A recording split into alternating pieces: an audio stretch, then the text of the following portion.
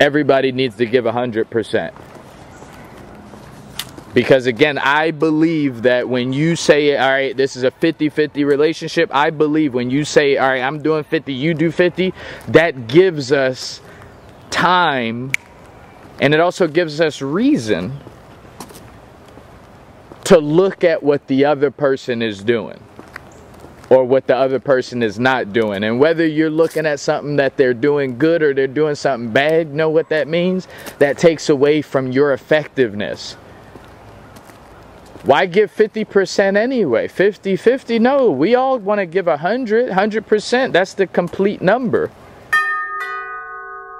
That everybody is holding themselves responsible before they start looking at and identifying who's being irresponsible.